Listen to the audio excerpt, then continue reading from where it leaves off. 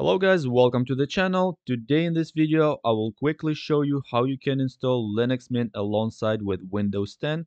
For example, if you like to use Linux for more privacy and more safety, but you find that there are some programs that are missing on Linux and you need to use them anyway, in this case, you can install Linux Mint alongside with other operating systems such as Windows 10 or it could be any other operating system. I will put time codes in this video so you can follow through the step that you need to go through. If you have already seen my other videos where I show you how to download the ISO, how to flash it onto the USB drive, you can skip those steps and go straight to the step number three, where we're going to be installing Linux on the computer to follow through all the steps. But if you haven't seen my other videos, this video is going to be a full complete installation guide for beginners. So you can follow through the steps and then you're going to be able to install Linux Mint on your computer alongside with Windows 10. Alright, let's get started. And before we start, if you're new to the channel, please take a second to subscribe.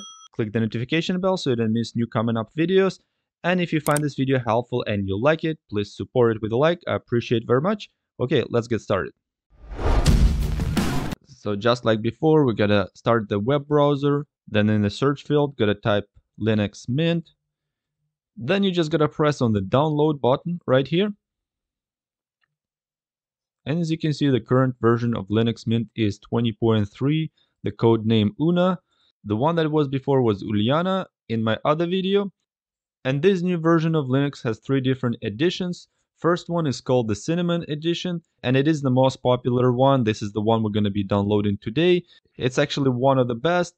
It is very slick and has a lot of features, but if you want to have something more robust and that requires fewer resources, you can download the Mate edition the installation process is going to be identical. And if you have a very old machine that doesn't have much resources, I would suggest you go with the XFCE edition because it is the lightest edition of Linux Mint and is basically meant to run on almost any machine. You can also find installation instructions if you click on this button right here.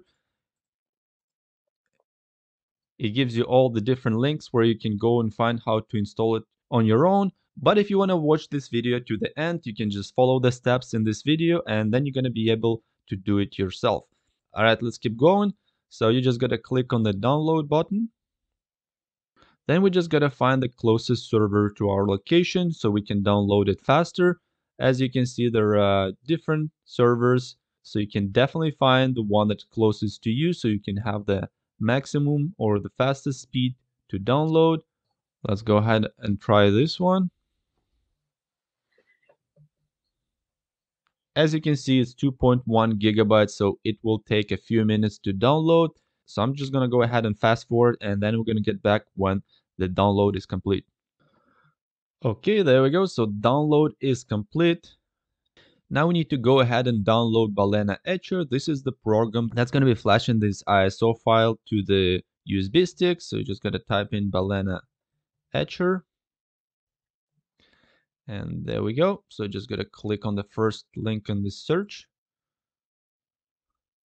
You can click on the download for Windows. There are also one for the Mac OS if you're using the Mac OS, but we're just gonna download one for Windows. Once it's downloaded, you can go ahead and install it, and then we're just gonna go ahead and start it. I have already started it here, so this is a very simple program, but it works really good. So next you just gotta click on this flash the file. Then we just gotta choose the Linux Mint ISO file that we have just downloaded. Then double click on it. Then we're gonna need a simple USB stick. You just gotta insert it in the computer. Then select target. And as you can see, I have this 125, or it's actually 128 gigabyte USB drive. You can choose a smaller USB drive like a 4 gigabyte, but it's really hard to find one nowadays. So I'm gonna have to use this large USB stick just for that but then you can delete it afterwards. You don't have to use it all the time. You just gotta format it and it should be fine. You just click select and then you just gotta click on flash. But just as a reminder, guys, before you click flash, make sure this USB stick doesn't contain any other important files for you because it will format it and it will remove all the files on this USB stick. So if there's any important files for you, then they're gonna be gone. If you're sure there's nothing there, go ahead and click the flash and it will take a little bit of time before it's finished. It's probably going to be a few minutes. And like I said before, Linux is really great operating system. It's free. Uh, you don't have to pay for it. It has a lot of cool features.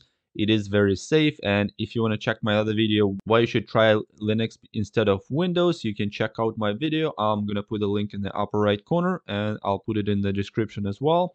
It is very good and this is one of the reasons why I'm installing Linux on my PC because it is very safe. There's much less viruses for Linux than Windows. So if you want to feel comfortable and safe, you should try Linux. All right, it's almost finishing up. Yeah, there we go. So the flash is complete. We can go ahead and close it. And the next step, what we're going to do, we're going to go ahead and install it on our PC. Okay, let's do that. So plug in the USB stick in the laptop, then go ahead and turn on the laptop. I recommend using the USB 2.0 because sometimes USB 3.0 may not work properly if there are missing drivers. USB 2.0 seems to be working better. Then in the start menu, just choose start Linux Mint. As you can see, there are a few different options you can choose from. We're gonna choose start Linux Mint and it's gonna start Linux Mint from the USB stick so we can install it permanently on the computer. Alright, so once Linux Mint has started, just go ahead and click on install Linux Mint in the upper left corner here. It's going to bring a dialog box where we can choose language. You can choose the language that you like. I'm going to choose English and then press continue. Then you can also choose the keyboard layout that you like. I'm also going to stick with English and press continue. After that, it's going to ask you if you want to connect to the internet. I would recommend to connect to the internet right away because it will install additional software and additional drivers so you don't have to do it later. If you don't have the internet connection, you can skip that step. You can choose I don't want to connect to the Wi-Fi network right now, but if you have a Wi-Fi, I would recommend you connect to it right now because then you can use internet connection to download additional software and additional drivers. After the connection has been established, go ahead and press continue. And then on the next step, you need to highlight this box, install multimedia codecs and press continue. On the next step, we need to choose the installation type.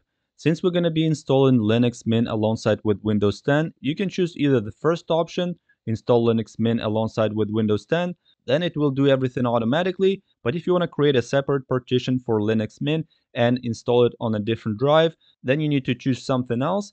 This will allow us to choose a special partition for Linux Mint as you can see, I have already created a new partition for Linux Mint.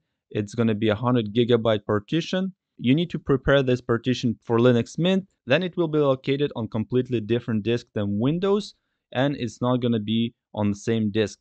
So go ahead and highlight this partition and then click change. Use as should be set to ext journal file system. The mounting point should be the forward slash, then click OK. After that, all the preparations are done. You can also check the format box and then press install now. It's going to tell you that this partition will be formatted and you will lose all the information on this partition.